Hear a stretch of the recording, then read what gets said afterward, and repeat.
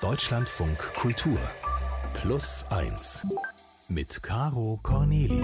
Ja, ganz herzlich willkommen. Das bin ich. Willkommen zu unserem Plus 1 zum Jahreswechsel. Ich habe einen sehr besonderen Gast, auf den ich mich genau genommen schon 19 Jahre freue.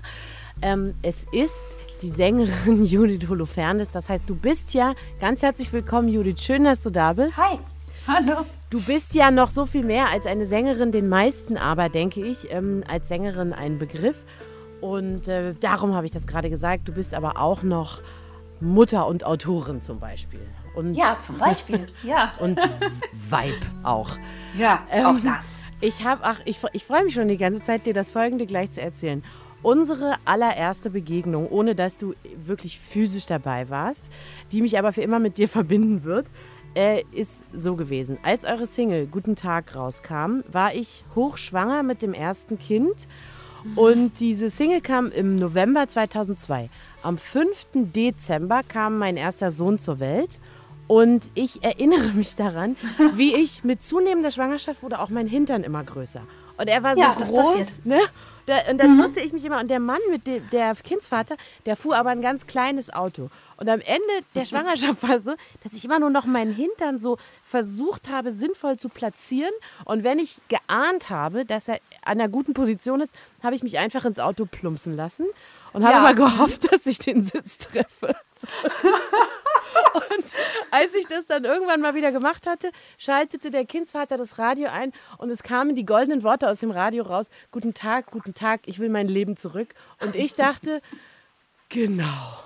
Ja, so ist es. Und, und, da, das freut mich sehr, und das war dass unsere erste so Begegnung. durfte. Ja, und da hast du mich wirklich mit den allerersten Worten, das war ja auch eure erste Single, die so, die so erfolgreich Mhm. war, hast du mich direkt mit den guten ersten sieben Worten so dermaßen abgeholt. Und im Grunde. Abgeholt und in den Sitz geschickt. Genau, und im Grunde dann auch gar nicht mehr äh, losgelassen. Und deswegen freue ich mich sehr, dass es heute ähm, zu diesem Interview hier kommt. Es gibt allerdings noch zwei andere Sachen, das kann ich vielleicht direkt mit dir teilen, die ich mit dir verbinde. Das eine ist, äh, wir haben beide ähm, im Jahr 2007 einen Sohn zur Welt gebracht, beide in Berlin und beide Ja. haben wir ihn Friedrich genannt. Ach komm. Ja. Echt? Ja, und jetzt Das kommt, ist ja lustig. die sind sich sogar so begegnet viele. schon in diesem Jahr. Ehrlich? Ähm, In diesem Jahr? Oder Ja. 2007? Nee, nee, nee, die sind sich in diesem Jahr begegnet. Aber viel mehr kann ich nicht darüber sagen. Ich, ich weiß es nicht genau, wie es abgelaufen Sagst du mir nachher nochmal Ja. noch mal Mic. Ja. Lustig, es gibt so wenige davon. Ja, davon gibt es tatsächlich wenige. Nicht so und, viele. Und die dritte Sache, die mich eng an dich bindet, ist, dass du meiner Meinung nach die schönsten Worte in einem Song in deutscher Sprache geschrieben hast. Und die gehen so, das habe ich alles bei Beverly Hills abgeguckt und etwas Pathos hinzugefügt. Jetzt, Ah, jetzt bin ich fertig mit äh, Lobhudeln, begrüßen und Oh, Und mich ich bin schon, ich freuen. habe ganz rosa Wangen und weiß überhaupt nicht, wohin mit mir. Vollkommen zu Recht. Also ganz herzlich willkommen, Judith Holofernes. Heute wirklich eine Frau, die für sich selber steht, seinerzeit die Sängerin von Wir sind Helden. Ich freue mich toll, dass du da bist. Ich freue mich auch sehr.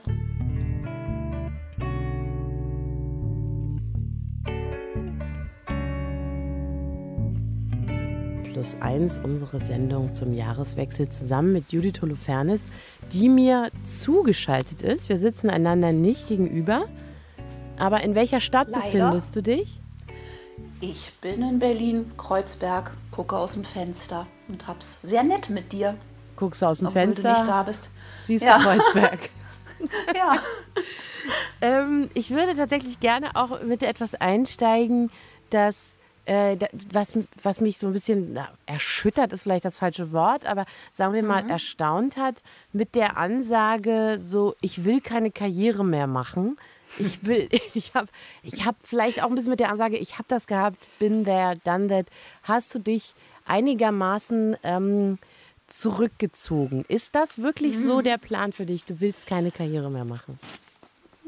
Äh, ja, ich meine, das ist im Prinzip ja eine Definitionssache. Und ich möchte noch arbeiten und ich möchte auch Sachen veröffentlichen. Insofern weiß ich jetzt gar nicht, ob man da von außen so den großen Unterschied merken wird. Mhm. Weißt du? Also das war eigentlich nur vor allem für mich wichtig, weil ich, ich meine, ich bin auf der Bildfläche erschienen, wie du vorhin gesagt hast, mit einem Lied, wo ich gesungen habe, äh, Guten Tag, guten Tag, ich will mein Leben zurück. Mhm.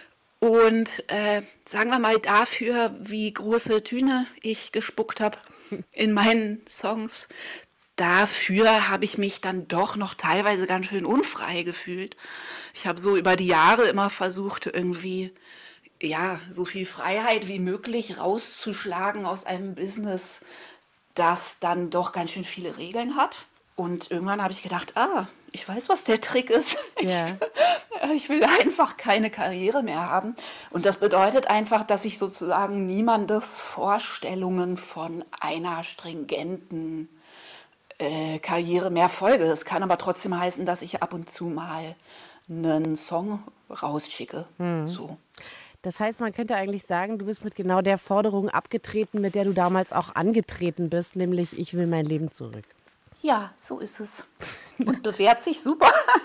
Ja, jetzt machst du etwas, ähm, das nennt sich, nee, also ich meine, du bist ja nicht Patreon, aber hol uns mal rein in dieses Universum, was das bedeutet. Hm. Also die Seite heißt Patreon und das ist aber eine Plattform, die bietet im Prinzip einfach nur eine Infrastruktur für Künstler und die können die nutzen, wie sie wollen. Mhm. Und äh, in meinem Fall ist es im Prinzip wie ein Abo-System so. Also man kann es eigentlich, glaube ich, einfach in eine Mischung aus Crowdfunding und Abo sich übersetzen.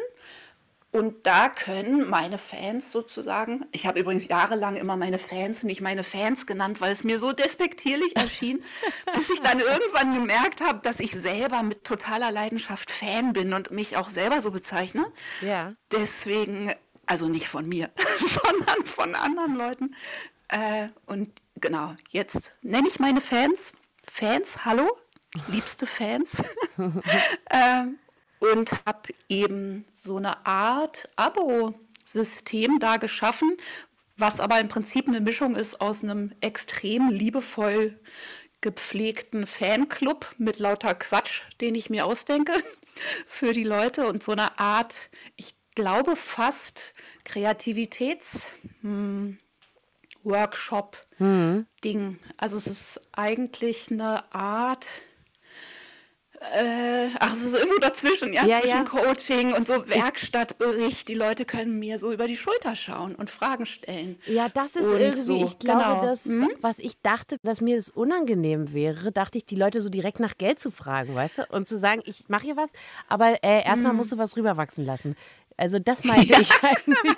Aber ich, da das ja absolut in gegenseitigem Einvernehmen geschieht, ist das letztlich eine Sache, die sehr klar ist und sehr ähm, naja, das nimmt ne, so ein schönes Miteinander.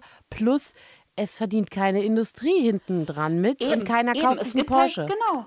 Genau, es gibt keinen Mittelsmann, keine Mittelsfirma.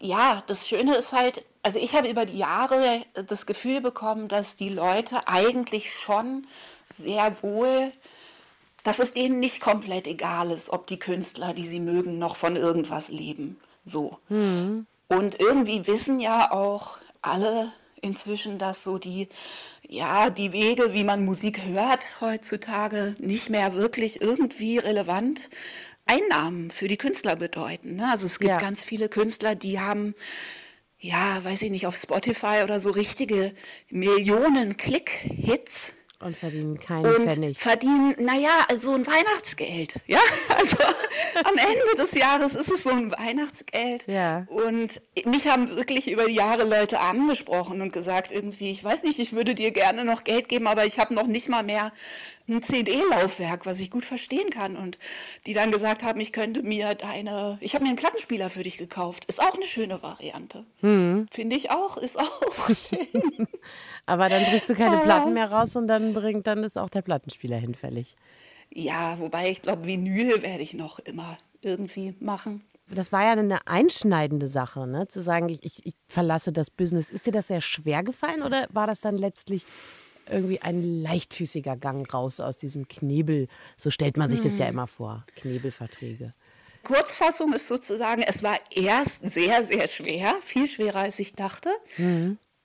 Und dann war es sehr leicht. Schwer, das sichere. soweit war. Also war das, war das schwer, so ein sicheres Nest zu verlassen oder war das schwer, weil die dich da nicht rauslassen wollten? Hier, so wie Bushido ja auch nicht raus kann aus Ja, genau, ich und mein, ich und mein Clan. War deine, Ähm, Platten, war deine Plattenfirma so ein bisschen Abu Chaka-mäßig? Nein, überhaupt nicht. Ich hatte am Ende überhaupt keine Plattenfirma mehr. Ich war schon zu meinem zweiten Soloalbum sowieso sozusagen meine eigene Plattenfirma. Also es gab dann am Ende auch nicht mehr so viele Anknüpfungspunkte durchzuschneiden, keine äh, Nabelschnüre, nicht mehr so viele. Ja. Ähm, es war eher tatsächlich so ein innerlicher Entschluss zu sagen, ich, hab, ich singe seit, weiß ich nicht, 20 Jahren über Generalverweigerung und Nonkonformismus und innere Freiheit Ja. und, äh, weiß ich nicht, folge immer noch viel zu viel den Träumen anderer Leute. So, ja. Du Versuche immer noch ahnst gar nicht, wie sehr mich das beruhigt. Wirklich, ich meine das ganz ernst. Es ist so beruhigend zu hören, dass auch jemand, der sich ganz intensiv damit beschäftigt, der genau Mhm. weiß, wo er lang gehen müsste, das Begreifen und Tun nicht das Gleiche ist und dass manchmal dazwischen noch Jahre liegen können. So, Ja, das, weißt du, was äh, vor allem dazwischen liegt? Das habe ich nämlich im Schreiben jetzt erst rausgefunden. Ähm, was dazwischen hauptsächlich liegt, ist Höflichkeit und nennen wir es People-Pleasing. Naja, ja, Angst natürlich auch, Ja. aber so, ich habe einfach bei all meiner Aufmüpfigkeit, ja, meiner medienwirksamen oberflächliche Frechheit. meiner oberflächlichen Frechheit dann doch einen ganz schön ausgeprägten Hang dazu, äh, Leuten, die mit mir arbeiten und so weiter, irgendwie äh, Freude machen zu wollen. Und am Ende des Tages war das, glaube ich, mein größtes Hindernis, dass ich immer noch dachte, na ja, aber wenn irgendeine Erwartung im Raum steht und sei die noch so subtil sozusagen, dann ist es erstmal mein Auftrag, der irgendwie nachzukommen. Und witzigerweise hast du währenddessen aber, glaube ich, viele Leute im Vor Vorbeigehen befreit, die diese Lieder gehört haben und dadurch so eine Energie, meine ich ganz ernst, so eine Energie gehabt haben und sich gedacht haben, und das mache ich Ja. jetzt nonkonformistisch, ich komme. Vielleicht ist es tatsächlich einfacher, wenn man sozusagen der Konsument ist, weißt du? Und nicht Vielleicht, derjenige, ja. der Und ich meine, die, die Songs sind immer schlauer als man selbst, weißt du? Die Songs sind immer, ähm, Ja. die wissen immer mehr, Ja. als man selber weiß und wissen es halt nicht können. So. Und auch auf der anderen Seite, ich meine, ich habe dann auch erst dachte ich, um Gottes Willen, warum warst denn du so unfrei die ganzen Jahre? Und dann habe ich hingeguckt und habe gedacht, naja, ehrlich gesagt, ich bin schon ganz schön frei in manchen Bereichen gewesen, die anderen Leuten schwerfallen. So, ne? Und äh, dann so genau hinzugucken und irgendwann zu merken, aha, guck mal, aber du hast hier deine ganz eigenen Verstrickungen und deine ganz eigenen, ja, Unfreiheiten. Judith, du sagst, du hast dich nicht in dem Tempo eigentlich befreit, in dem du das wolltest. Jetzt aber stehst du ja an einem Punkt. Fühlt es sich denn jetzt so an, wie du es dir vorgestellt hast, diese Befreiung? Ja, tatsächlich. Ich fühle da auch immer mal nach, ne? weil ich denke, nach all den Jahren mit lauter Fehlversuchen, ist es das denn jetzt eigentlich? Und äh, tatsächlich habe ich aber das Gefühl, ich glaube, die größte Unfreiheit, die ich noch empfunden habe, war die, dass ich das Gefühl hatte, mein Beruf hält mich von der Arbeit ab. Also ich hatte das Gefühl, dass äh, für das, was eigentlich für mein Gefühl mein Beruf ist, nämlich Schreiben, komme ich dazu wenig dazu. Und ich bin eigentlich immer dann glücklich und ausgeglichen und irgendwie verhältnismäßig gut drauf rundum, äh, wenn ich regelmäßig jeden Tag vor mich hin irgendwas kunsten kann. Ja. Und als ich sozusagen noch Judith Holofernes war, die ich ja jetzt irgendwie immer noch bin, aber in Anführungsstrichen und fett gedruckt, ja, Ja. da hatte ich immer das Gefühl, 80 Prozent meiner Arbeitszeit, und ich meine, die ist begrenzt, ich habe zwei Kinder so, ne? 80 Prozent meiner Arbeitszeit geht dafür drauf, Judith Holofernes darzustellen. Also, ne, ja. oder diese Judith Holofernes zu sein. Ich habe ja immer versucht, darin sehr gut zu sein. Äh, echt zu sein und sehr ich zu sein, aber einfach ähm, 80% Promotion, 20% Kunst, um es kurz zu sagen. Ja. Und jetzt, dadurch, dass meine Patrons, also das so heißen die Unterstützer, ne? Ja. Unterstützerinnen, seit ich von denen sozusagen ein Auskommen und ein Einkommen bekomme, fühlt sich das auch so an, dass ich denke, okay, da sind Leute, die warten ganz direkt auf nichts anderes, Als- als dass ich irgendwelche schönen Sachen mache. Ja. Und das hat mich tatsächlich total befreit. Also das ist einfach das, was ich mir immer gewünscht habe.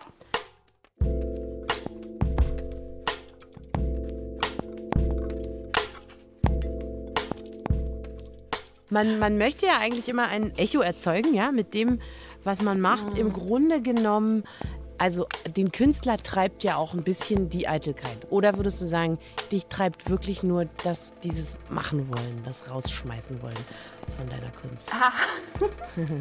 Da piekst du was an. Ich habe nämlich, ich habe gerade als letzten Text ganz lange darüber geschrieben, warum man eigentlich Kunst macht und wie viel Eitelkeit damit reinspielt. Finde ich nämlich ein wahnsinnig spannendes Thema. Natürlich ist man auch irgendwie eitel, wie die allermeisten Leute, und macht das auch aus irgendwelchen weiß ich nicht, ne, äh, Mangelerscheinungen heraus. Aber das Interessante ist halt, dass Künstler das immer gefragt werden und wenn jemand, äh, weiß ich nicht, bei einer Bank arbeitet, weißt du, dann kommen auch nicht alle zu dem und sagen, na, ein bisschen wenig Sicherheit gekriegt als Kind. so. Also, Ich habe auch Flugbegleiterinnen immer vorgeworfen, sie würden das aus Eitelkeit machen, weil Flugbegleiterinnen immer Ja, so schicke so, Kostüme okay. tragen. Ähm, ja, okay, okay. ja. Also ungefähr auf dem Level Ja. ist es bei, bei mir. Nee, tatsächlich glaube ich, dass die allermeisten Künstler, mich eingeschlossen, das machen, weil es ihnen hauptsächlich um Verbindung geht. Also um das Teilen auf die beste Art, die ihnen einfällt. Ne? Ja. Also Kontakt, Innigkeit, Berührung über Dinge, die in irgendeiner Form ja, sich durch sie ausdrücken können und die aber die anderen Leute genauso viel angehen. So. so gesehen, ja, macht vielleicht, machen viele Künstler das deswegen. Und auf der anderen Seite finde ich, man kann eitel sein, das alles aus Eitelkeit tun, man sollte es nur wissen. Genau. Also ich habe zum Beispiel überhaupt nichts gegen Eitelkeit. Ich finde das bei anderen Leuten oft sehr liebenswert und sehr unterhaltsam. Ich glaube, also natürlich ist es zum Beispiel so, dass äh, eins der Hindernisse für mich, äh, was mich vielleicht davon abgehalten hat, war schon, also was mich davon abgehalten hat, mich so sehr selbst zu befreien, wie ich es jetzt getan habe, ist schon, dass Leute an meine Eitelkeit appelliert haben. Na, dass immer Leute gesagt haben, ah, bist du denn wirklich sicher, dass du damit glücklich wirst, wenn das alles so viel kleiner wird und äh, wenn du dann nicht mehr die Rückmeldung kriegst und nicht mehr so viel Resonanz kriegst auf deine Sachen, weil das ist natürlich der Hebel, wenn du sagst, ich steige aus aus dem zahlendefinierten Musikbusiness mit Charts und dem ganzen Zeug, Ja. dann sagt, dann ist das eine berechtigte Frage. Und ich habe irgendwann gesagt, ja, klar wird mir das wehtun.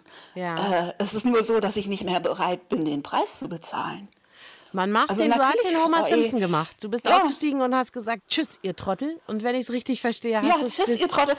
Und ich habe nicht bereut bisher. Naja, es ist einfach so, dass ich beschlossen habe, das andere ist wichtiger. Das heißt ja nicht, dass es, äh, also irgendwelche Tode muss man auch sterben. Natürlich macht das Spaß, äh, wenn jeder mitkriegt, wenn du in Detmold spielst, ja? Und natürlich macht es Spaß, wenn, äh, wenn jeder weiß, dass du einen neuen Song rausgebracht hast. Und natürlich sticht es auch, wenn, wie mir dann auch passiert ist, irgendwie, du in deiner Heimatstadt Freiburg äh, oder Wahlheimat teilweise Freiburg spielst und die Leute beim Signieren sagen, wie toll, dass du endlich wieder was machst.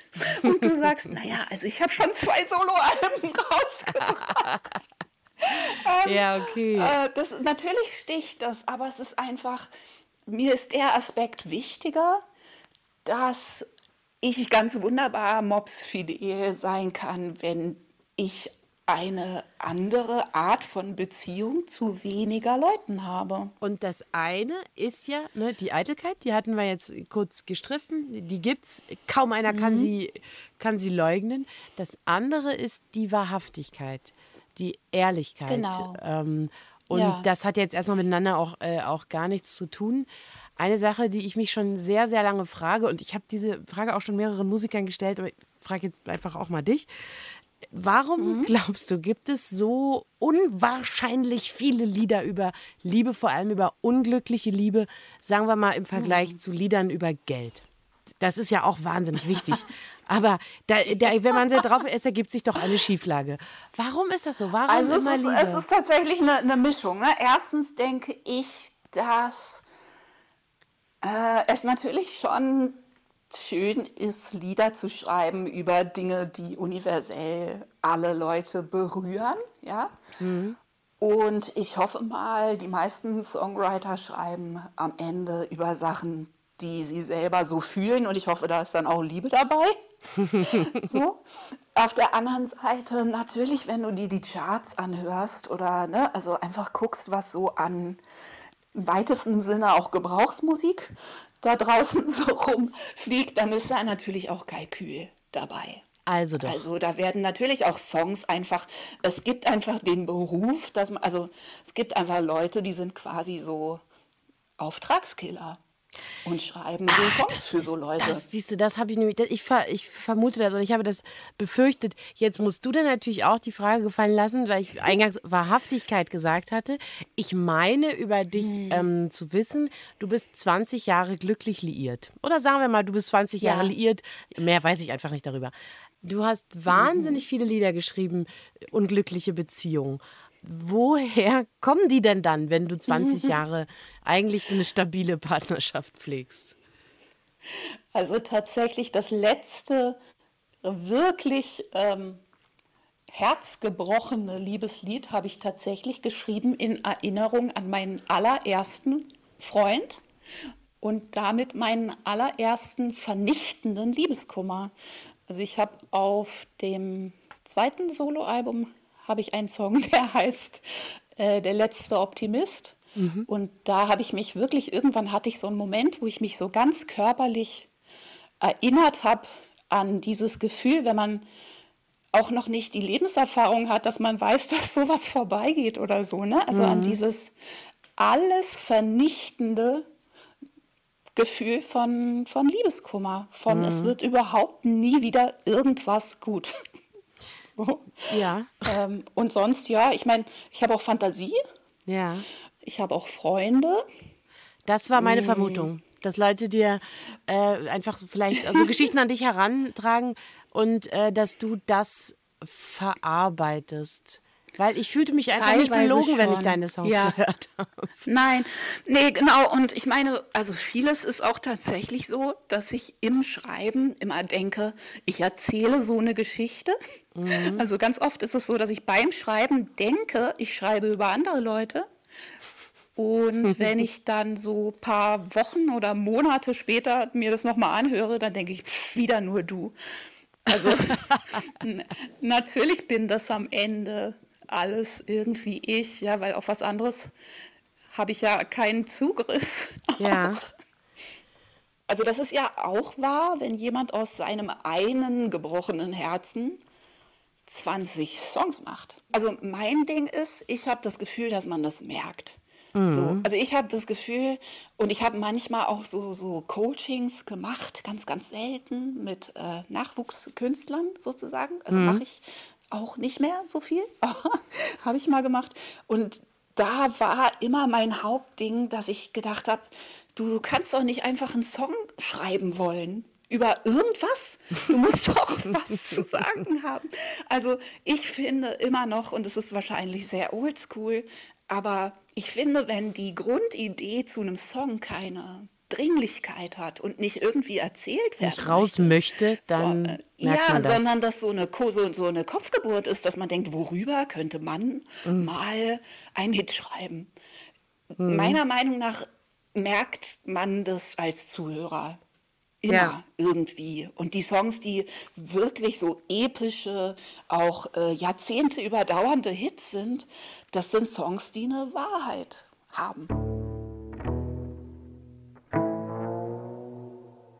Würdest du eigentlich deine Kunst, also natürlich nicht nur die Songs, auch deine Gedichte, auch das, was du schreibst, auch dann machen, wenn du wüsstest, es hört dir keiner zu, kann keiner lesen und keiner nimmt da Anteil?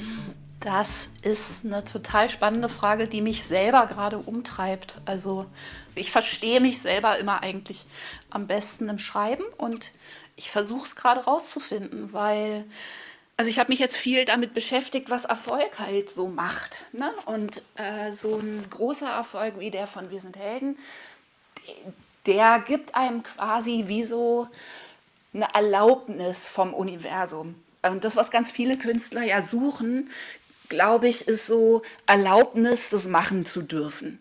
Mhm. Und deswegen glaube ich, ist ein früher Erfolg insofern gefährlich, weil man keine Notwendigkeit hat, diese Dringlichkeit und diese Erlaubnis aus sich selber heraus zu entwickeln. Und dann ist es selbstverständlich und, und man macht es einfach nur noch. Ja, und äh, wenn dann aber zum Beispiel dieser große Erfolg weggeht, was er ja irgendwie bei fast allen Künstlern in Wirklichkeit dann irgendwann zumindest zwischendurch mal tut, mhm. dann muss man auf einem ganz anderen Level für sich selber diese Erlaubnis wiederfinden. Mhm. Als zum Beispiel, also ich kenne, ich habe Musikerfreunde, die sozusagen nie so erfolgreich waren mit ihrem Ding. Die ist ja auch ein bisschen schwer in Deutschland. Also wen willst du da jetzt noch, äh, wen willst du da jetzt noch benennen? Irgendwie, da gibt's ja, es gibt ja nicht naja. viele, die so. Außer halt Bushido wieder ja, natürlich, ne? Der war auch so erfolgreich Bushido wie halt. du. Das weiß ich nicht, wie viel Bushido Erlaubnis aus sich selber bezieht. Aber das ich echt auch nicht. Es ist, es ist tatsächlich einfach nicht so einfach, da dann äh, man muss sich da, man muss daran arbeiten. Und ich habe das Gefühl, ich bin noch drin. Und dieser mhm. Schritt weg von der Masse hin zu zumindest den Fans, von denen ich das Gefühl habe, dass sie es sozusagen irgendwie ja die tiefste Beziehung zu dem haben, was ich da mache oder so. Ne? Es ist ja im Prinzip einfach sowas wie so ein engster Kreis. Das mhm. ist zwar immer noch ganz schön viel Erlaubnis ja. und ganz schön viel Publikum, aber immerhin ist mein Fokus kleiner geworden. Also ich habe das Gefühl, ich habe wirklich sehr gründlich gelernt, mich auf die Leute zu konzentrieren, denen das wirklich was bedeutet und nicht mehr drauf zu gucken, wie viele Leute ja. das sind. Und das Einzige, was ich weiß, ist, ich bin nicht glücklich, wenn ich nicht kreativ arbeite. Und zwar mhm. äh, ziemlich genau nach einer Woche. Ja, da muss man anfangen so zu trinken an, oder Drogen zu, zu nehmen, wenn man nicht kreativ Genau, wie es so meine Art ist. Ja. Nee, das bei dir nicht, aber ich glaube, dass es bei vielen ja. Leuten dann eben äh, sich so Klar, den Kanal genau. sucht. Ja. Ja, ich meine, ich fange dann an, irgendwelche sinnlose Pseudoprojekte zu starten. Ja. Aber ja, genau. Und dann merke ich irgendwann, warum bin ich denn eigentlich so schlecht drauf? Ah, ich habe seit einer Woche nichts geschrieben. Ich habe mal, ähm, weil es ist wirklich überhaupt nicht meine Art, aber ich, das war so ein sinnloses Pseudoprojekt in der Grundschule äh, meiner Kinder. Mhm. Habe ich mich mal zur Vorsicht Internetmutti aufgeschwungen und habe so äh, oh Zettel verteilt, ja, auf denen genau. äh, steht, auf welchen Seiten die Kinder besser nicht sein sollen. Und einmal bin ich sogar in die Klasse und habe von den Gefahren erzählt im Internet und dachte dann, ich bin das nicht. Ja. Das ist, das ist wichtig, dass einer das macht, aber ich bin das eigentlich nicht. Warum stehe ich genau. hier? Ähm, und ja. das wird so was ähnliches. Eine Übersprungshandlung gewesen sein. Ja. Ich ja, bin wirklich das keine. Ich von mir auch, dass ich ja. denke, warum nochmal habe ich jetzt so einen elaborierten Adventskalender gebastelt? Ah, weil ich seit einer Woche nichts geschrieben habe.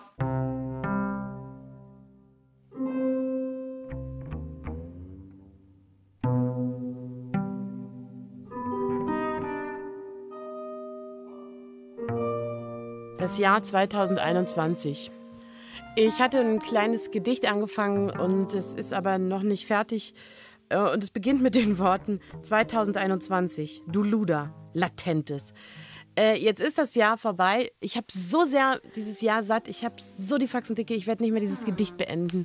Mann, das war das unangenehmste Karussellfahr Fahrgeschäft, an dem ich hier teilnehmen musste. Wie war es denn für dich so, das, das vergangene Jahr? Oder sagen wir, was ist das Erste, ja. was dir einfällt, wenn du an das Jahr 2021 denkst? Das erste ist tatsächlich mein Buch, was jetzt demnächst irgendwie fast fertig ist und das war sehr erfreulich. Also wieder zu dem Thema äh, Kreativität und dass man es braucht, um glücklich zu sein. Glücklicherweise konnte ich das machen. Sonst wäre mein Jahr, glaube ich, ganz, ganz anders äh, ja, gelaufen oder hätte sich anders angefühlt. Also ich hatte auf der einen Seite kreativ ein unheimlich tolles Jahr, wobei auch unterbrochen von Homeschooling noch und nöcher und Haare ausreißen und Ja.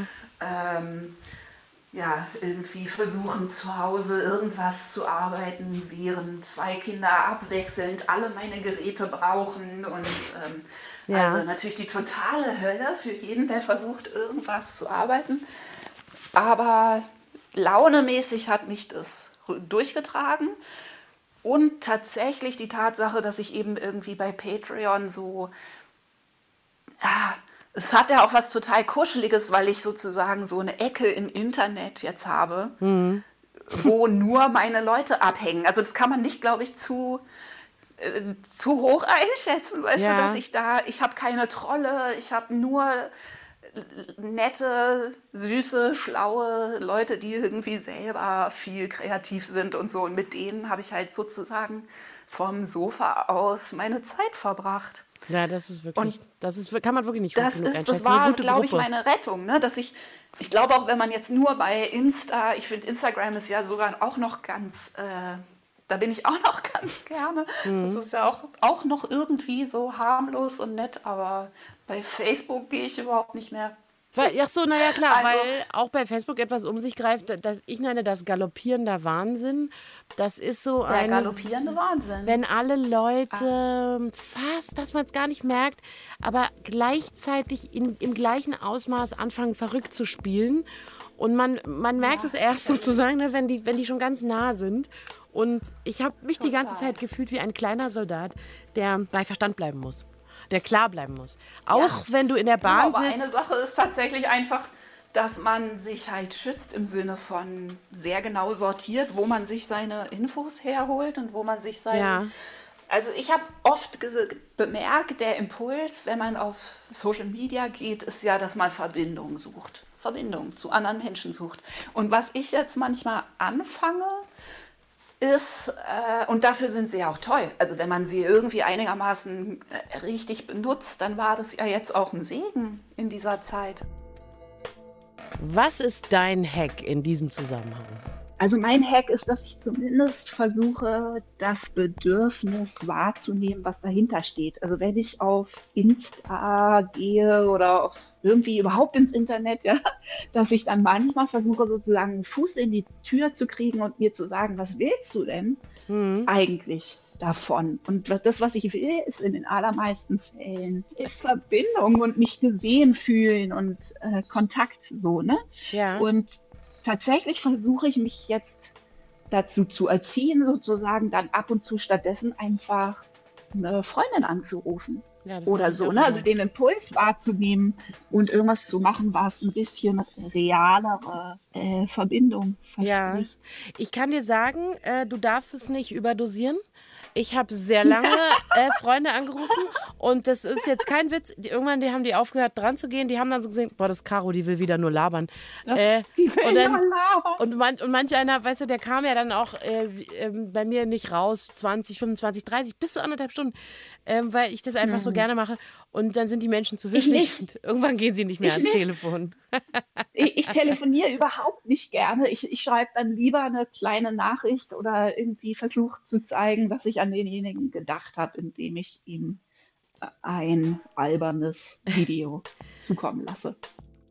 Na gut, dann sagen wir mal einfach über das Jahr 2021 ist jetzt genügend gemotzt. Es hat ja auch noch niemand die Milch zurück in den Krug geheult. Was soll's weg damit?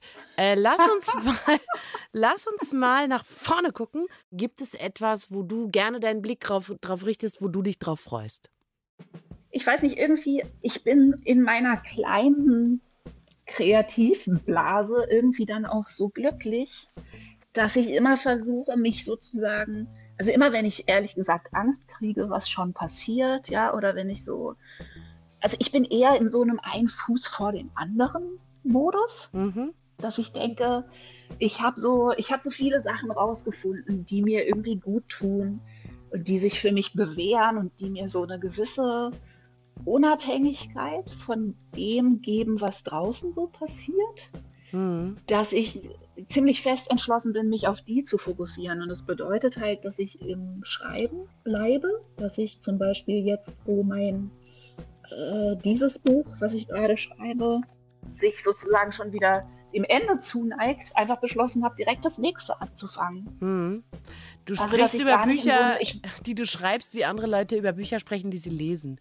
Ja, genau. Ich lese auch wahnsinnig viel und auch das bewährt sich total. Und ich höre ganz viele Podcasts und äh, ich weiß nicht, wie viele Stunden Podcasts ich gehört habe in diesem Jahr. Hm. Unglaublich hm. viele. Und das hat mich so äh, es hat mir so viel Halt gegeben und auch so viel Inspiration. Und tatsächlich habe ich auch das Gefühl, dass Inspiration nicht zu unterschätzen ist als Gegengift. Ne? Also viele Leute sind ja so, man redet so viel von Self-Care und das finde ich auch wichtig. Mhm. Ja, also das stimmt auch. Alle bitte so lieb zu sich sein, dass es kracht. Mhm. Aber ich kann aus eigener Erfahrung nur sagen, es ist nicht zu unterschätzen, wie wichtig es für die Seele ist, sie mit was zu füttern, hm. was ihr wirklich auf einem tieferen Level Freude macht. Und das ist Kreativität und Sachen, die einen ins Leuchten bringen. Das so, heißt das auch, sein, eigentlich man, immer, ne? das heißt auch eigentlich immer selber machen und nicht konsumieren. Ne? Also Seele füttern ja, oder, ist nicht so ja, richtig sich Sachen reinziehen, sondern eigentlich mehr Sachen, Sachen selber machen. Oder Ja, oder ich meine, wenn es Sachen sind, die einen sehr inspirieren. Also ich habe wirklich, weiß ich nicht, hunderte von Stunden von irgendwelchen ultra nerdigen Podcasts übers Schreiben gehört und äh, habe dann das Gefühl, ich hänge so mit meinen Schreibeidolen, hänge ich so rum. Mhm. Also ich weiß nicht, das ist ja schon auch passiv, aber es macht halt unheimlich viel ja. in mir. So und äh, also das jetzt so zu 2022. Ich glaube, das werde ich beibehalten. Und was mir außerdem noch total viel Hoffnung gibt, ist mein Hündchen. Ich habe ein Hündchen seit anderthalb Jahren ungefähr. Ja, Können die Jahren. da eigentlich mit anderthalb Jahren dann schon sprechen? Ja, sie kann schon sprechen. Ich versuche geduldig. Mhm. Das, das Lustige ist, mein Hund ist, also sehr nett, aber der ist jetzt nicht so ein Überfliegerhund, der unglaublich viele Sachen kann. So, ne? mhm. ne? Der kann hauptsächlich niedlich sein und lustig sein. Und ich habe jetzt aber auf Insta tatsächlich zwei so Frauen abonniert, die ihren Hunden Sprechen beibringen. Ach was. mit so Tasten, weißt du, mit so, ja. wo die Hunde auf so Knöpfe drücken ja. und dann so erstaunlich viel Zeug ausdrücken können. Und erstens macht es total Spaß, weil die dann immer irgendwelches unglaubliches Zeug sagen. Und gleichzeitig hat es mir sozusagen ganz viel Glauben in meinen kleinen Hund gegeben, ja. dass ich jetzt immer so irgendwelche Worte wiederhole, weil ich denke, vielleicht versteht es jetzt ja doch. Oh nein, bitte. Wir alle wissen, wie das ausgeht. Äh, irgendwann stehst du auf dem Stuttgarter Platz und bist eine Spatzen-Omi.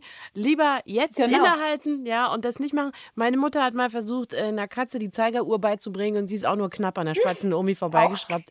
Also ganz vorsichtig mit diesen Sachen. Auch das, ihr Lieben, ja. nicht überdosieren. Ich sag's nicht nur. Nicht überdosieren, nicht unbetreut. Ja, ganz genau. Ab und, zu, ab und zu Rückmeldung von nahestehenden Menschen einholen. Absolut. Und keinem Hund sprechen beibringen ohne Supervision. Ich denke, damit äh, genau. sind aber auch unsere Hörerinnen und Hörer äh, genügend, äh, genügend gewarnt davor, dass man auch hierbei verrückt werden kann.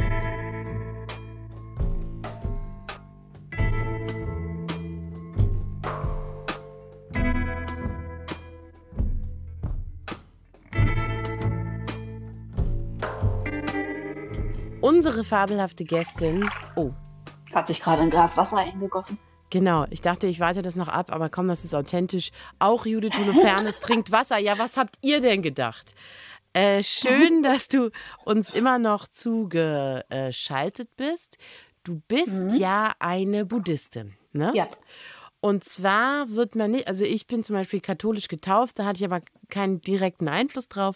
Man, man wird ja da nicht so hineingeboren, sondern ein Buddhist sein, oder du bist da nicht hineingeboren, manch einer mhm. wahrscheinlich schon, aber ein Buddhist sein ist so eine Art Entscheidung. Oder wie kommt man dazu? Etwa wie die Jungfrau zum Kinde? also, ich bin dazu gekommen, ich war so ein philosophisches Kind, weißt du, so eins, was immer, äh, wo die, die Monster unterm Bett sozusagen nahtlos abgelöst wurden von irgendwelchen existenziellen Fragen. Mhm. Und ich habe mir immer wahnsinnig viel Sorgen gemacht über den Tod und was danach kommt und äh, welches von meinen Familienmitgliedern ich irgendwie am ehesten verschmerzen könnte, wenn es stirbt und so. Ich war wahnsinnig damit beschäftigt und hatte dementsprechend, glaube ich, immer so ein Bedürfnis nach Transzendenz, einfach Spiritualität. Mhm. mhm. Und hatte aber 0,0 äh, religiöse Prägung, was das dann am Ende sozusagen sogar leichter gemacht hat, weil ich nichts, ich hatte auch kein Gepäck, was ich loswerden Du musst musste nichts abschütteln, so. ja. Mhm. Genau. Und ich bin dann und also ja, bin dann sozusagen über so ein Interesse an Philosophie und aber gleichzeitig so einer Sehnsucht nach irgendwas Tieferem, äh, Größerem, Weiterem, mhm.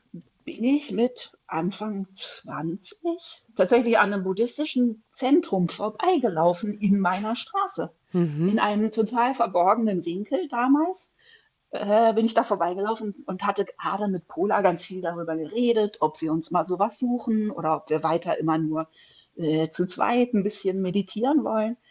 Und ja, das war dann quasi der Anfang einer großen Freundschaft. Einer wunderbaren Freundschaft, ja. Und, ja, der Anfang einer wunderbaren Freundschaft. Und ähm, seitdem sind wir da, machen wir das teilweise sehr inbrünstig, als wir noch keine Kinder hatten. Mhm. Da waren wir sehr, ja, über Jahre, also auch die wildesten Heldenjahre, bin ich teilweise aus dem Schweigeretreat auf den roten Teppich gefallen. Mhm. So. Also es war teilweise auch wirklich absurd ähm, und hat auch so manchmal ein bisschen mein Gehirn ausgehebelt, hatte ich das Gefühl. Also hat ja. auch nicht immer so toll zusammengepasst. Ich weiß noch, meine Mutter hat immer gelacht, hahaha, äh, meditieren oder Drogen nehmen, ne? So. Ja. Also, weil es ja tatsächlich auch viele Künstler gibt, von denen man weiß, dass sie den Weg gegangen sind. Mhm. Meistens die, die nicht so früh draufgegangen sind. Witzig, Sag ja nur. Mhm. ja, natürlich. Also langfristig äh, ist es mit Sicherheit gesünder, zu meditieren. Ist, ich frage das als totaler blutiger Anfänger, äh, der nicht im Sitzen meditieren kann, sondern nur im Laufen. Ist Meditieren für Ach, dich am Anfang auch so langweilig gewesen?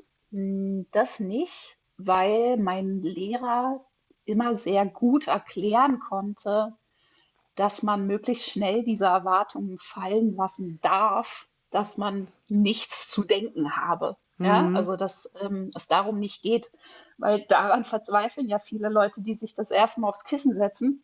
sie denken, huch, mein Geist labert die ganze Zeit irgendwelches Zeug. Wie kann er nur?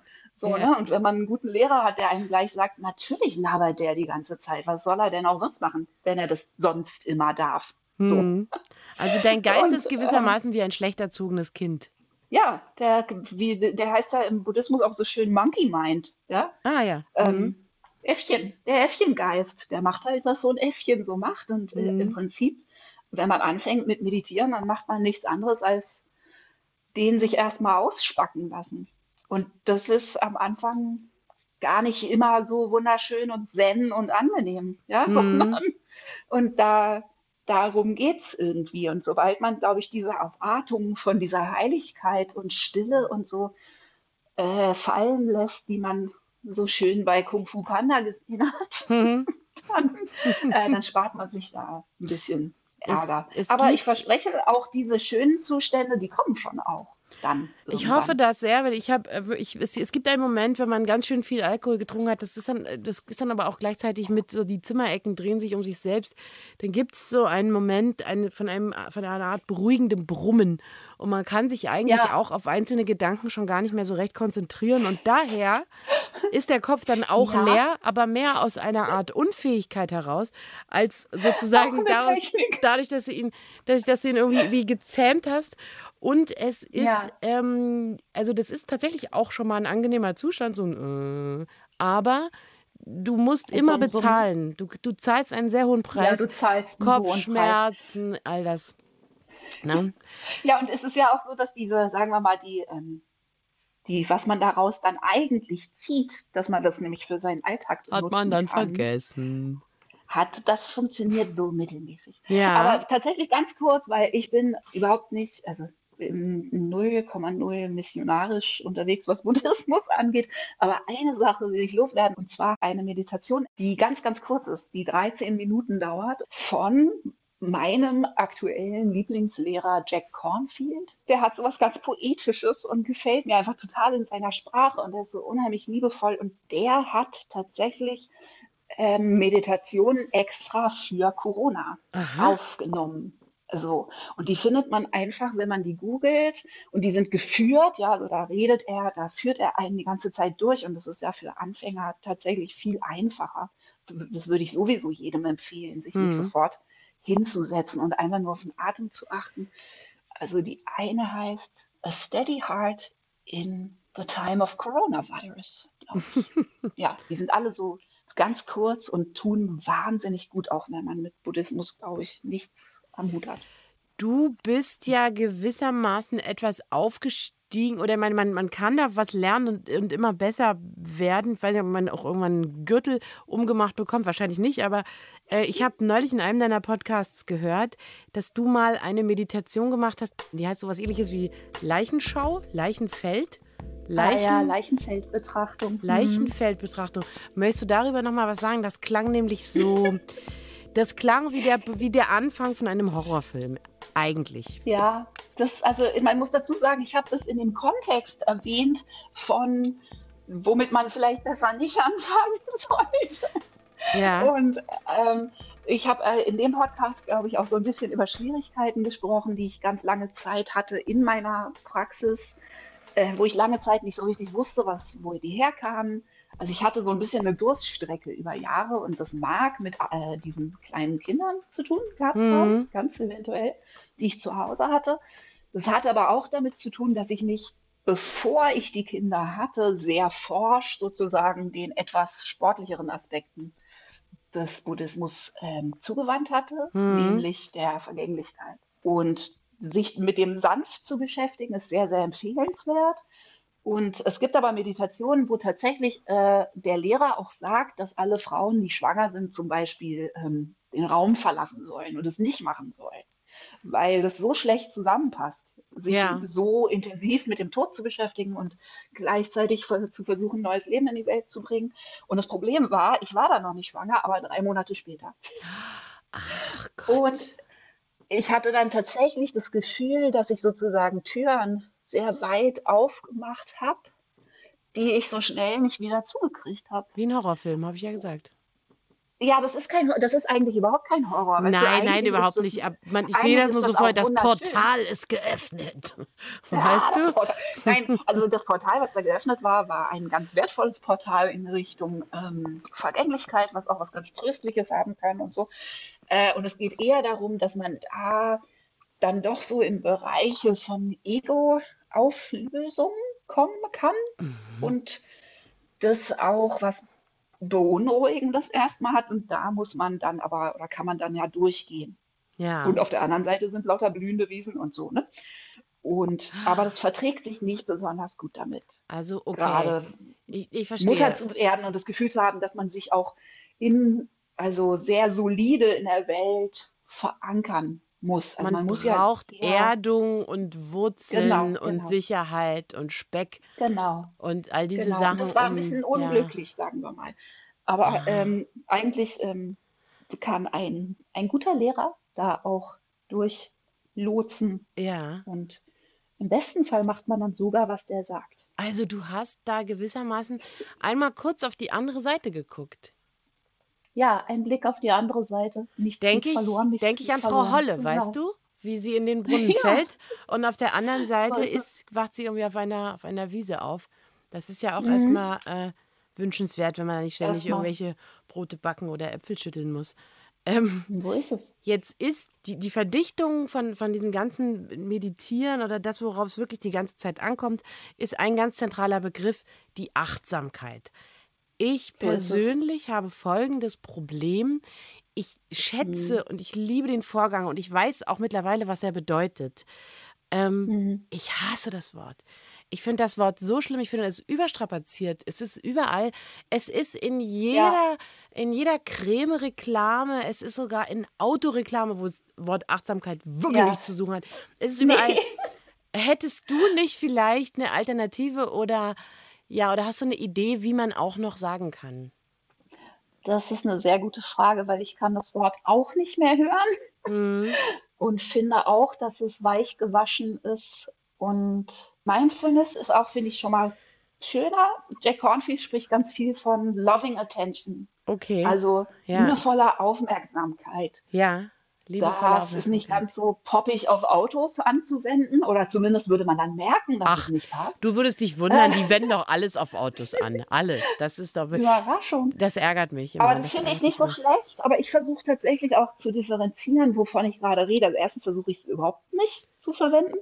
Aber wenn ich muss, dann würde ich immer Ja. sagen, manchmal redet man von Konzentration, manchmal redet Ja. man von äh, fokussierter Aufmerksamkeit. Hm. Ne? Manchmal redet man in Wirklichkeit von Gleichmut oder Ich habe das manchmal das Achtsamkeit Gefühl. ist so ein, ist so ein Platzhalter für Genau, genau. Für ganz irgendwie viel. Zen. So. Ich habe Ja. manchmal das Mhm. Gefühl, ich bin eine kleine Taschenlampe. Und da, wo ich mein Licht drauf halte, da befindet sich gerade Ja. sozusagen meine Aufmerksamkeit. Jetzt ist halt Taschenlampigkeit irgendwie nicht so Ganz richtig. genau. Taschenlampigkeit. So schön. Und wenn man das zu schnell ausspricht, kommt man bei irgendwas mit Schlampigkeit raus. Das ist nicht gut. Genau, ich wollte auch gerade sagen, das ist doch auch gut, weil an manchen Tagen ist sie vielleicht auch ein bisschen schlampig, die Taschenlampe. Ja, aber genau, ich, ich finde, es müsste ein neues Wort her. Also vielleicht sind auch einfach all unsere Hörerinnen und Hörer an dieser Stelle nochmal aufgefordert, sich darüber Gedanken zu machen, ob man das beknackte Achtsamkeit nicht austauschen kann gegen etwas Schöneres. Und wenn wir gerade dabei sind, das Ja. Wort Manufaktur kann von mir aus auch weg. Kann auch gehen. Ja.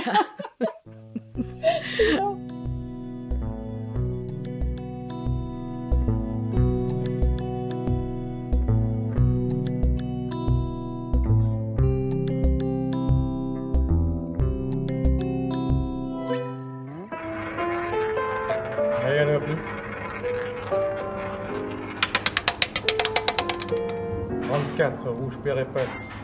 Ich bin Micha, 36 und hatte Glück. Seit kurzem habe ich eine Freundin und als ich zuletzt an mein Auto steigen wollte, stand in den Staub der Fahrertür mit den Fingern reingeschrieben Kuss. Ich schickte ihr ein Foto davon und bedankte mich für die freundliche Botschaft. Ein paar Tage später parkte ich nachts mein Auto im absoluten Halteverbot halb auf dem Gehweg und als ich nachts zurück zum Auto taumelte, hing im Türgriff der gleichen Fahrerseite eine rote Rose. Und ich dachte, Moment mal, die weiß doch gar nicht, dass ich hier bin.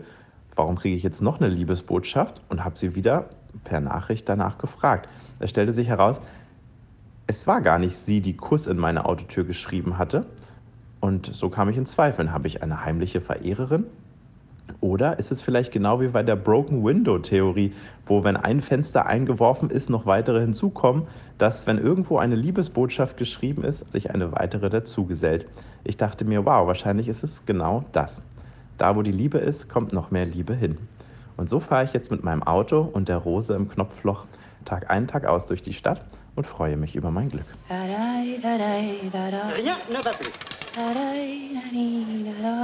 plus. Familie, meine liebe Judith, ist ja äh, etwas, das bei dir mit der Zeit auch sozusagen angeschwollen ist. Du müsstest, wenn ich richtig gezählt habe, vier plus ein Hund sein, ja? Ja, wir sind genau. Und du Vier hast, plus ein sehr kleiner Hund. jetzt habe ich Mhm. irgendwie so eine Vorstellung, ähm, ihr habt sehr viel Zeit als Familie auch im Tourbus verbracht. Äh, Ja, und teilweise, frage zeitweise. mich, Mhm. was ist enger, so ein Lockdown oder ein Nightliner?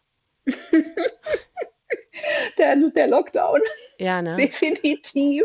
Ja, weil, also das Schöne am Nightliner fahren, ich meine, das ist sehr sportlich mit Kindern, ne? Und als wir das so regelmäßig gemacht haben, da waren meine Kinder auch noch sehr klein. Und das hatte natürlich, also es war sehr schön und sehr lustig und abenteuerlich, aber es war auch äh, eigentlich völlig unmachbar und furchteinflößend und schrecklich gleichzeitig. Ne? Und also mit Laufbabys auf Festivalgeländen unterwegs zu sein und in einem fahrenden U-Boot quasi. ähm, war Laufbabys, sportlich. Laufbabys sind diese anstrengenden Babys, die von Schildkröte auf Hase umgestellt haben. Ne? Ja, die schon sozusagen- alles können, aber nichts checken. Einfach. so, ne? Und dann hast Ja. du davon zwei und eins versucht immer mit irgendeinem Gabelstapler durchzubrennen und das Ja. andere klettert gerade irgendeine Bühnentrasse hoch und so. Äh, das war sportlich, aber trotzdem, also der Lockdown, ich glaube, der Unterschied ist der, dass bei einem, bei so einer Nightliner-Tour man zumindest weiß, äh, worauf man sich einlässt und dann auch damit arbeiten kann. Und man zwar- weiß zwar- auch, wann es wieder en- zu genug. Ende ist. man weiß, wann es zu Ende ist. Und bei dem Lockdown fand ich das Harte, dass man eben nicht in so einen Ausnahmezustand gehen kann, ne? wie man das auf Tour macht, dass man sagt, jetzt ist es für, was weiß ich, sogar sechs Wochen, meinetwegen ist es jetzt so, sondern man weiß überhaupt nie, wie der nächste Tag ist und man muss ja immer trotzdem irgendwie funktionieren und man muss mit den Kindern ja dann auch irgendwelches, plötzlich irgendwelches Zeug machen, was man nie im Leben sich für angemeldet hat. Ja, so äh, seufzt. So, ne? Und das war, das Elternsein bedeutet natürlich sowieso das, dass man dauernd Sachen machen muss, von denen man denkt, sich nie dafür angemeldet zu haben. Aber das war Mhm. jetzt im Lockdown schon äh, hoch 10, auf jeden Fall. Jetzt spulen wir mal ein kleines bisschen nach vorne. Das, da waren deine Kinder noch klein, jetzt sind deine Kinder groß. Du hast äh, Mhm. einen Tweet vor nicht allzu langer Zeit abgesondert, der so sinngemäß hieß, es ist scheißegal, ob, wie groß die Bühnen waren, auf denen du als Künstler gestanden hast. Äh, wenn du mit deinen Kindern über die Straße läufst, dann laufen die vor dir, weil die schämen sich einfach für dich. Ne? Oder ich habe es jetzt so versucht, sinngemäß zusammenzufassen. So ungefähr hast du es gesagt. Genau. Ist Ich habe, das, glaube ich, gesagt, du kannst Headliner bei Rock am Ring gewesen sein. 15 Jahre später laufen deine Kinder trotzdem auf der Straße vor dir.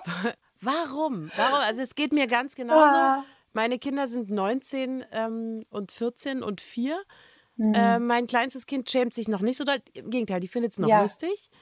Ich habe Ja, wirklich genau. schon, ich habe schon richtig bitterböse Sachen kassiert. Einmal habe ich auf der Straße den Hokey Pokey getanzt. Das hat mir mein Sohn bis heute nicht verziehen. Ja, es geht schnell, wenn man auch ein expressives Wesen Mhm. hat. Aber nee, also ich fand das in dem Moment sehr lustig und ich habe das auch meinen Kindern gezeigt und sie fanden es dann auch sehr lustig. Aber klar, am Ende des Tages bist du im Zweifel, gerade wenn du irgendwie dich aus diesem relativ äh, eng gefassten Mama-Schema rausbewegt, wie man sich da zu benehmen hat, Mhm. bist du einfach deinen Teenagern gnadenlos peinlich. Klar. Und dabei müsste man, müssten sie sich ja eigentlich schämen, wenn man sich, sagen wir mal, in einem engen Mama-Korsett bewegen würde. Das wäre ja, weißt du, das wäre ja im. Grunde viel unangenehmer. Ja, Aber die Kinder, haben Genau. deine Kinder auch manchmal sowas wie, äh, sie wären gerne die, die Kinder von anderen Leuten? Nee, die sind tatsächlich, also was ein bisschen komisch ist, ist, die letzten Jahre war das ja alles ultra, ultra Indie und ist auch so ein bisschen, glaube ich, an den Kindern vorbeigegangen. Und unter anderem dieser Rückzug, der hat ja schon auch damit zu tun, jetzt nicht in erster Linie, aber hat schon auch damit zu tun, dass ich das einfach besser finde für meine Familie, äh, wenn ich jetzt nicht so wahnsinnig prominent bin. Und jetzt gerade, was jetzt gerade passiert ist, dass wir sind Helden plötzlich wieder auf TikTok äh, durchdrehen, aus irgendeinem Grund, den ich nicht verstehe, so, ne? Aber auf, aus irgendeinem Grund laufen uns plötzlich wieder auch sehr, sehr junge Hörer zu, neue.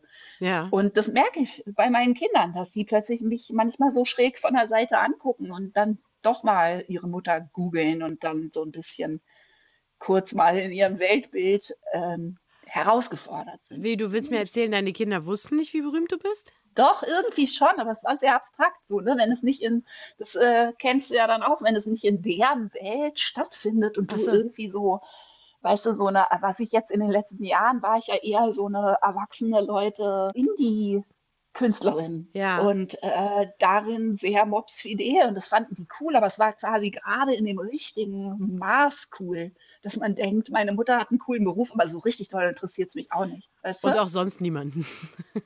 Ja, und auch sonst nicht so viele Leute, oder Okay. zumindest nicht meine Freunde. Weißt du? Habe meine Mutter gegoogelt, mir sind die Augen rausgefallen. Sie ist voll berühmt. Ja, aber ich meine, das ist natürlich auch ein bisschen schön. Also das ist, das auf Ja, irgendeine Art schön. wird es sie, denke ich mal, auch, ähm, auch stolz machen. Ja, Ja. aber trotzdem bin ich auch froh, dass ich nicht jetzt gerade dauernd bei Rock am Ring auf der Bühne stehe, weißt du, sondern dass man das dann irgendwann mal kichernd mit den Kindern auf YouTube gucken kann. Ja. Ja, das äh, mache ich auch manchmal, kichern mit den Kindern auf YouTube. Sachen gucken, die, die ich gemacht habe und dann, und dann sagen die auch manchmal Genau. so zähneknirschend, ach, das ist ja doch ganz schön witzig. Das ist ja doch ganz schön cool.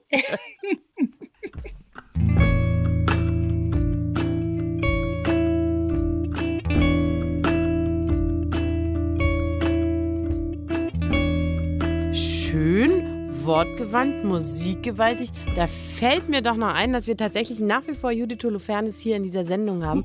Ich freue mich, dass du dir so wahnsinnig viel Zeit nimmst für uns. Ähm, Wir haben es doch sehr schön. Das stimmt, wir haben es sehr schön. Wir haben jetzt auch schon über einiges gesprochen. Fehlt dir noch was? Ich versuche im Moment immer alle Leute dazu zu kriegen, mit mir so über Reisen zu sprechen, weil ich äh, das so als Eskapismus ganz gerne mache, dass ich mir sozusagen Reisen ausdenke, die ich dann irgendwann mache, Ach Gott, ach so. wenn alles wieder geht. Ja, so Touren Aber- meinst du? Ich stelle mir auch mein, mein richtiges Erwachsenenleben, also wenn meine Kinder dann richtig groß sind, Mhm. stelle ich mir immer so vor, dass ich dann so, ich habe neulich einen Podcast gemacht mit Doris Dörrie Ja, den habe ich und gehört. die ist ja ein paar Jahre älter als ich und die hat dann immer so erzählt, ja, und dann war ich da auf Lesereise in Japan und hier mache ich mein Schreibe- und Zen-Seminar in den Bergen und so und in Chile und so. Und so stelle ich mir dann immer mein Ja. quasi, ja, ich, ich habe immer das Gefühl, wenn Kinder dann richtig groß werden, dann wird man auch selber noch mal erwachsener. Und genau. So habe stell ich es noch nie vor. gesehen, dass man, also natürlich ist Erwachsenwerden ein, ein, ein gleitender ähm, Prozess, aber es kann auch sozusagen, man kann auch schlagartig nochmal eine Stufe aufsteigen. Da hast du völlig recht. Ja, Wenn die Kinder. schon, oder? Wenn man das, aus dem wenn die Haus Rolle sind. dann auch wieder so ein bisschen abfällt in Ja. gewisser Weise, also natürlich nie ganz, aber nicht mehr so Ich habe- ist. Ich habe mal vor einer Weile bei meiner Mutter angerufen, da lebte ich alleine mit meinen zwei Söhnen und da habe ich bei meiner Mutter angerufen, da war sie so Anfang, Mitte 50 ungefähr. Und ich habe zu ihr gesagt, Mhm. Mutter, kannst du nicht mal vorbeikommen? Sie lebte auch in Berlin und kannst mir nicht mal helfen? Hier, ich will was aus dem Keller hoch, das ist mir alles zu schwer. Komm doch mal vorbei. Mhm. Da sagt meine Mutter zu mir, nee, Line, du, ich habe gestern Abend ganz viel Alkohol getrunken, jetzt habe ich gerade eine Pizza bestellt. Ich liege hier auf dem Rücken und gucke mir was im Fernsehen an. Und da dachte ich, das gibt's doch nicht. Das gibt's doch nicht. Wieso macht die denn jetzt den Teenager-Lifestyle, während Ja. ich hier irgendwas aus dem Keller holen muss oder was? Da stimmt doch was nicht. Aber dann habe ich begriffen, Ja. doch, doch, das ist ihre Belohnung. Ja, sie Ja, hat also sie, ich verstehe das total. Sie genießt Ich das finde das auch total gut. Deswegen sollte man mit älteren Leuten befreundet sein. Also mit Leuten, die älter sind als man selber. Man sollte auch mit Leuten befreundet sein, die viel jünger sind als man selber. hm? Ähm, weil es wirklich tatsächlich hilft, finde ich, so die eigene Lebensphase so ein bisschen entspannter einzuordnen, oder? Mhm. Also ich habe jetzt eine beste Freundin, eine neue enge Freundin. Äh, das ist eine Hundefreundin. Die habe ich auf der Hundewiese kennengelernt. Mhm. Und wir gehen jeden Morgen zusammen mit den Hunden raus. Und die ist 72. Ach, toll. Und mir tut das so gut. Ich finde das so gut. ja, da kann man viele Sachen Äh, fragen. Hallo, Ulla. Ja? Du, das hörst, sie hat nämlich immer, hört Ja. euch immer. Ähm, aber mir tut das einfach total gut, weil wenn ich dann irgendwelche, weiß ich nicht, Schulsorgen oder sowas habe, was ich oft mal habe, weil ich das eine echte Anfechtung finde, manchmal Ja, Schulkinder zu haben, ja. äh, vor allem zu Corona-Zeiten. Und dann lächelt sie immer nur so milde und man merkt so an so einem leichten Kräuseln an der Stirn, dass sie versucht, sich zu erinnern. Ach, das ist ja auch Ne, schön. Und die ist einfach zum Beispiel, die ist so frei in ihrer Tagesgestaltung, wie Mhm. ich das seit ich, ja, Ende 20 war, nicht mehr war. ja, Und das ist schon inspirierend, wenn man sich denkt, dass das wiederkommt. Judith, ich habe irgendwie den Eindruck, also jetzt tatsächlich in unserem Gespräch, auch in den Podcast-Sachen, äh, die ich von dir gehört habe, dass du da sehr ähm, die, die Menschen, die Menschen sehr nah an dich dran lässt. Gibt es etwas, das zu persönlich ist, ähm, um es sozusagen rauszutragen? Oder würdest du sagen, nö, zu persönlich, das gibt es eigentlich nicht? Fragezeichen. Fragezeichen. Ich frage mich das auch manchmal, aber jetzt im Moment sieht es ja so aus, als hätte ich mir sozusagen als neue Lieblingskunstform irgendwie das mem memoiristische Schreiben gesucht, ne? Mhm. so Essays oder Texte über mein Leben. Mhm. Und die sind sehr offen und so. Mich fragen das auch Freunde, ob mir das nicht zu privat ist oder so, ne? Oder ich das Gefühl habe, mich zu verwundbar zu machen. Und ich weiß nicht, ich fühle immer in mich rein und denke irgendwie nicht. Und ich glaube, die Erklärung ist die, dass ich durch das Songschreiben eh schon immer das Gefühl hatte, dass es sowas wie, oder durch das ganze Meditieren, wer weiß, ja, Mhm. aber dass ich so ein, ich habe so ein Gefühl von, dass es dann am Ende des Tages auch nicht so viel Persönliches gibt. Also, weil wir Menschen uns alle so ähnlich sind. Mhm. Und ähm, also ich, ich habe immer beim Songschreiben das Gefühl gehabt, je spezifischer man ist und je genauer man hinguckt bei seinen eigenen Gefühlen, umso näher kommt man an was, was im Prinzip schon wieder universell ist. Mhm. So. so ist es eben. Wir Menschen sind doch ganz schön, äh, wir haben alle die gleichen Bedingungen auch für unser Leben und da kommen dann auch ganz schön ähnliche Gefühle bei raus. und so. Psychokiller vielleicht Deswegen mal ausgenommen. nicht so, ja.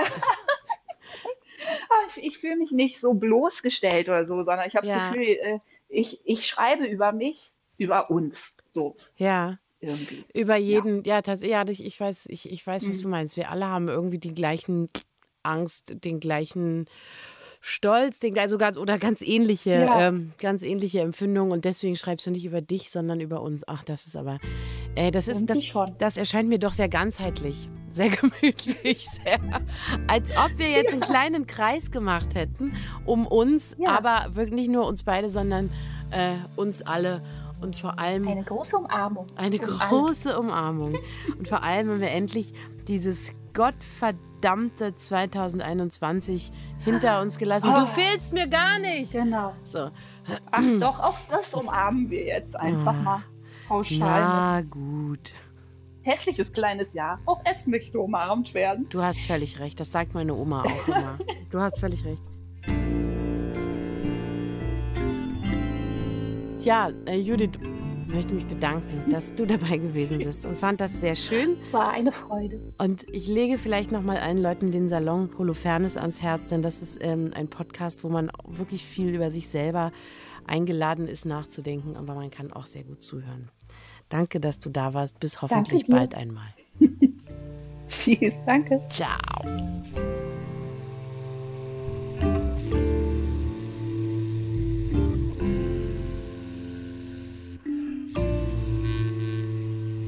In der kommenden Woche begrüßt sie hier mein liebenswerter Kollege Utz Träger und ich verabschiede mich einstweilen und sage Tschüss, muss Schluss machen, wird zu teuer. Música